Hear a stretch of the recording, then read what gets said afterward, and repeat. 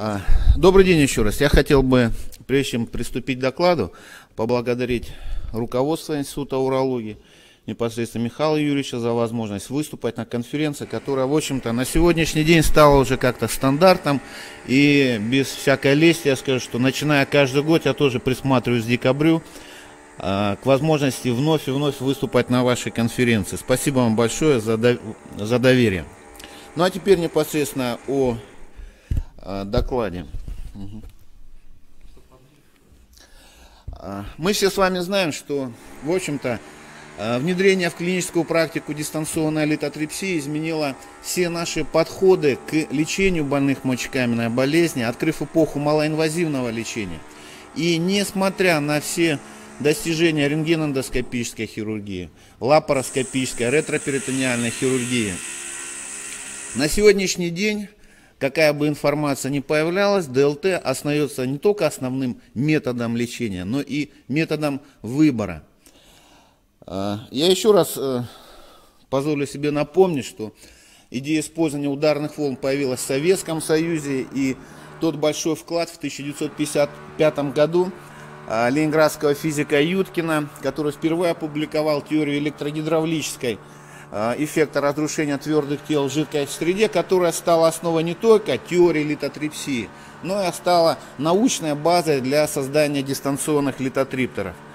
Однако первый сеанс ДЛТ был проведен в 1980 году в Мюнхене, а первый сеанс в Советском Союзе был проведен 4 ноября 1987 года под руководством Николая Алексеевича Лопаткина. А в нашей клинике отделение дистанционной литотрипсии существует с 1992 года, и за это время мы накопили достаточно большой опыт использования литотриптеров экспертного класса Siemens и Дарне в лечении больных мочекаменной болезнью. На сегодняшний день э, работаем на Гемине. Какие современные э, технологии лежат в основе эффективной и безопасной дистанционной литотрипсии на сегодняшний день?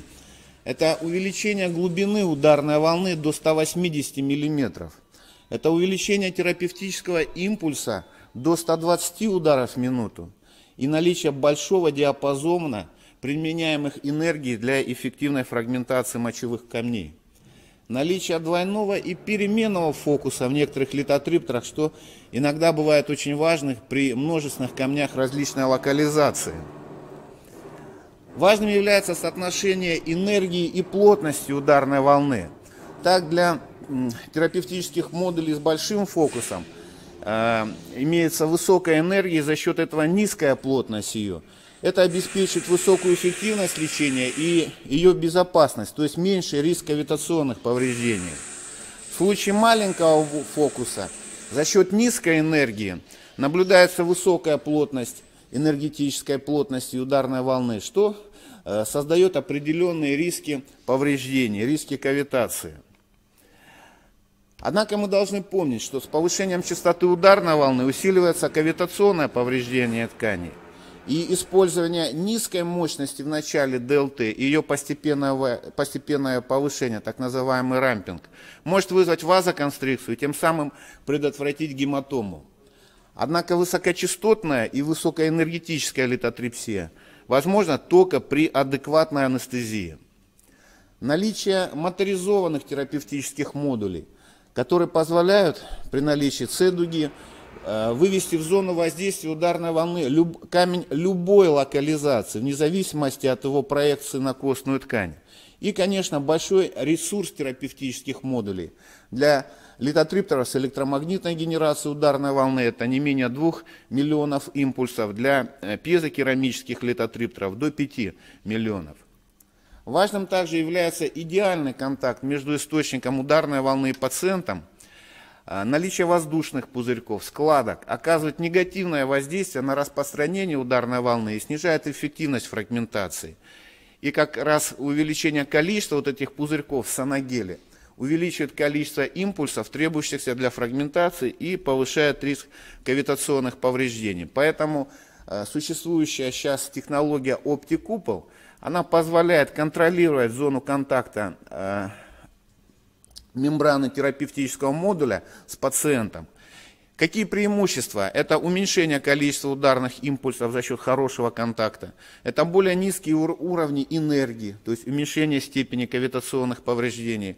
Это сокращение продолжительности процедуры за счет повышения эффективности фрагментации.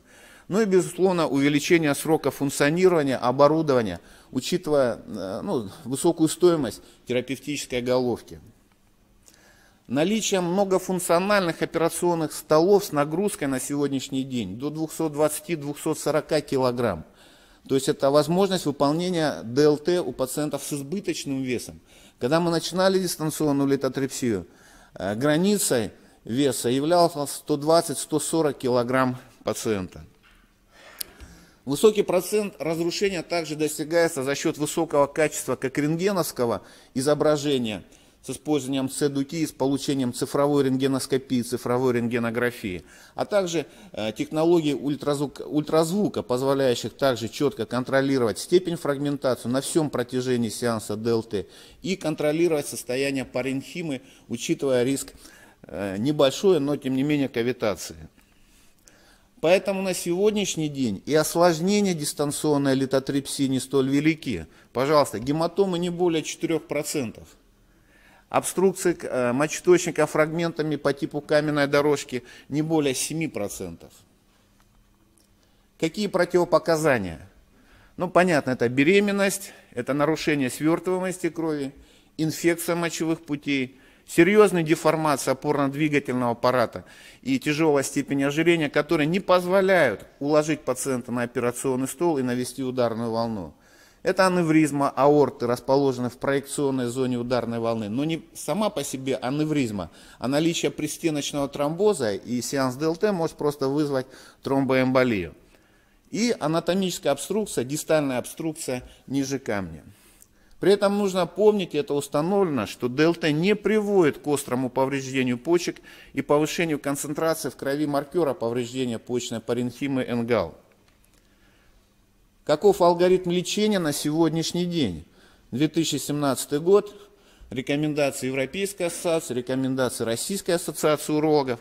Камень до 2 сантиметров почки остается, ДЛТ остается основным методом лечения в конкуренции с эндоурологией. Есть особенности дробления камней в нижней чашечке – но не сама по себе степень фрагментации, а обеспечение эффективного отхождения фрагментов камня с целью снижения э, остаточных фрагментов.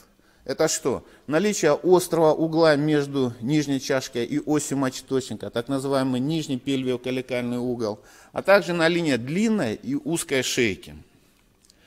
При камне мочеточника до сантиметра дистанционная литотрипсия также остается основным методом лечения – конкуренции с уретероскопией. Показания к ДЛТ на сегодняшний день аналогичны показаниям у взрослых. И ДЛТ на сегодняшний день у детей остается оптимальным методом лечения при кам камнях до 2 см. Длительное наблюдение также не подтвердило необратимых функциональных или морфологических осложнений после ДЛТ. Однако, учитывая потенциальное нарушение почечной функции, необходимо ограничение количества импульсов и мощности ударных волн. Э, кроме э, размера мочевого камня, важным является также плотность, структурность, рентген-однородность мочевого камня, как показатели прогнозирования эффективности лечения. И на сегодняшний день современные технологии – компьютерная томография, особенно в настоящее время, двухэнергетическая компьютерная э, томография Dual Energy, позволяет четко определить размер, объем, э, разброс плотности камня, его структурность, помимо анатомофункционального состояния мочевых путей, что очень важно в прогнозировании э, отхождения камней. И вот наши исследования в течение достаточно длительное время, а в общем-то в течение последних 15 лет, когда мы использовали и э, спиральную, и мультиспиральную денситометрию, на сегодняшний день двухэнергетическую денситометрию, позволил выделить три группы мочевых путей, учитывая эффективность дробления и, соответственно, резистентность мочевого камня к ударной волны. И в случае однородного мочевого камня с плотностью более 1200 единиц по Хаунселду, тогда нужно решать вопрос, конечно, о выборе альтернативного лечения э, по отношению к ДЛТ. Но я еще раз хотел напомнить, что сама по себе плотность, не привязанная к размеру мочевого камня, к его структуре, к техническим особенностям дистанционного литотриптера и, конечно, опыта врача, выполняющего литотрипсию, не может быть просто э, э, критерием выбора, критерием эффективности лечения. Только вот совокупность вот этих параметров э, позволяет нам прогнозировать и эффективность дистанционной литотрипсии, и определять показания к лечению конкретного пациента. Следующий параметр, который нам также позволил, мы позволили как бы установить, это зависимости, зависимость твердости мочевого камня от происходящих параметров, таких как содержание кристаллизационной воды, прежде всего в оксалатах и уратах. То есть чем больше э, кристаллизационной воде э, в камне, тем он менее плотен. Поэтому моногидрат оксалата кальция, да, состоящий из одной молекулы воды, он более плотный камень, это более резистентный камень к ударной волне, чем дигидрат оксалата кальция виделит. Дальше. Характер микроструктуры камня также определяет твердость мочевого камня, то есть наличие плотных переплетений кристаллических образований, кристаллических плоскостей определяет высокотвердый мочевой камень. Дальше, чем представлен камень? Кристаллом, поликристаллом. Но особенно важным наличие текстуры, то есть ориентированного роста кристаллических поверхностей.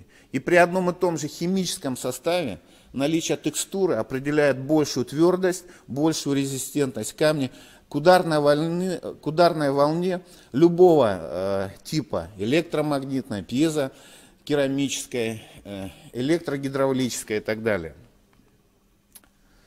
Особенностью дистанционной литотрипсии является не только достижение фрагментации мочевого камня, но и обеспечение отхождения фрагментов. И именно совокупность э, на сегодняшний день в литокинетической терапии растительных препаратов, спазмолитиков, альфа-адреноблокаторов, нестероидных препаратов и обеспечивает тот необходимый литокинетический эффект, обеспечивающий эффективность дистанционной литотрипсии.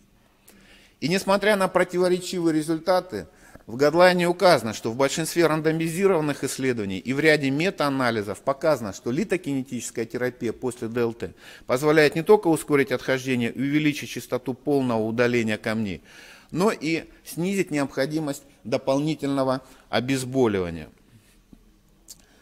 И э, позвольте остановиться на растительных препаратах, э, потому что совокупность вот диуретического, противовоспалительного, спазмолитического эффекта обеспечивает тот необходимый нужный нам эффект. И именно с растительных препаратов, в общем-то, если обратиться к истории, началась вся литокинетическая терапия. И позвольте тоже об известном препарате, препарат, история которого более 60 лет, более чем 60 стран мира, это Раватинекс с известными эффектами спазмолитического действия, дальше. Препарат обладает, как вы знаете, противовоспалительным противомикробным действием, повышает содержание защитных коллоидов, содержание глюкуроновой кислоты, что нам важно в метафилактике. Предотвращает инкрустацию катетеров стентов при длительном дренировании верхних мочевых путей. Обладает совместимостью с антибиотиками, потенцирует их действие, то есть такой синергический эффект – повышает эффективность литокинетической терапии. И что очень важно нам в метафилактике, это возможность назначения детям шестилетнего возраста. И если все известно, если все понятно, почему мы вновь и вновь возвращаемся к теме раватинекса, это клиническая эффективность и безопасность, что доказано, в общем-то, рандомизированными исследованиями. Если мы обратимся к литокинетическим препаратам, я даже не знаю еще какие препараты, где есть их подтверждение рандомизированным эффектом. Фармакологические безопасность и высокая технологичность, то есть э, возможность э, достижения постоянной дозы препарата. Мы все знаем, что это совокупность монотерпенов, анитол, барниол, конфен, альфа-бета-пинены, фенхонциниол. И Спазмолитический эффект обеспечивается за счет барниола, конфена, пинена, фенхона. Диуретически обеспечен анитолом, Все э, терпены, входящие в ротинекс, обладают противовоспалительным действием, а вот усиление тканевого кровотока за счет анитола, барниола и конфена. И все это обеспечивает высокий литокинический моноэффект по рандомизированным исследованиям в отношении роватинекса до 80%. Какие в настоящий день показания к применению? Это комплексная метафилактика рецидивов, это литокинетическая терапия при камнях почки мочеточека, при цитратном литолизе, в купировании почечной колики, снижении инкрустации стентов и в лечении калькулезного пилонефрита. И тоже небольшие данные по нашему небольшому исследованию в оценке клинической эффективности препарата. Две группы пациентов. В группе А 150 пациентов, которым назначалась терапия равотинексом после ДЛТ, и 70 пациентов, которым после, в послеоперационном периоде назначали стандартизованные спазмолитики.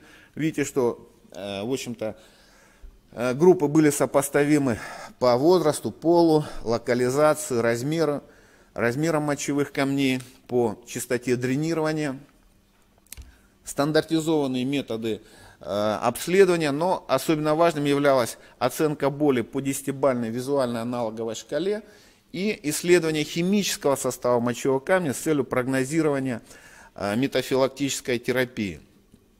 Какие критерии мы учитывали? Это частоту возникновения колики, это сроки и процент отхождения фрагментов камня, это динамику показателей, лабораторных показателей и переносимость. Клиническая оценка боли. На фоне равитнекса средний балл составлял 5 по 10-бальной шкале, колика у 12,7% пациентов. На фоне спазмолитиков средний балл боли 7, колика отмечена 45,7% случаев. В группе раватинекса в течение первых пяти дней отхождение фрагментов у 69%, на фоне спазмолитиков ну, практически 43%. Но по истечении первых 14 дней у 77%, а на фоне спазмолитиков на уровне 58%. При оценке динамики показателя анализа крови как в группе раватинекса, в группе спазмолитиков показатели сопоставимы. Понятно, что прием препарата на эти параметры не влиял. То же самое можно сказать при оценке показателей анализа в крови суточной экскреции, депурации как в группе раватинекса, так и в группе спазмолитиков показатели тоже сопоставимы и нормативные. И вот важный показатель – это суточный диурез как критерий литокинетического эффекта. И на фоне равотинекса четкий прирост суточного диуреза до 2,5 литров в сутки, что нам необходимо. Но в группе спазмолитиков прирост статистически недостоверен. И что важно, что на фоне равотинекса мы на фоне снижения лейкоцитурии также можем добиться и стабилизации pH мочи в районе 6,2-6,8. При микробиологическом исследовании мочи группы также сопоставимы. Основным являлся кальциоксалатный и смешанный уратно-оксалатный тип камнеобразования. И в заключение, значит, прием раватинекса повышает процент отхождения фрагментов, назначение препарата сни, приводит к снижению лейкоцитурии, увеличению суточного диуреза, стабилизации, повышает процент отхождения камней при проведении цитратного литолиза и не сопровождается развитием побочных эффектов и возможен длительный э, прием при метафилактике. Спасибо за внимание. Вадим Игоревич. И об этом говорю в течение последних, наверное, 12 лет. Я позволю, да, чуть-чуть назад. Что плотность сама по себе, она не является критерием выбора метода лечения.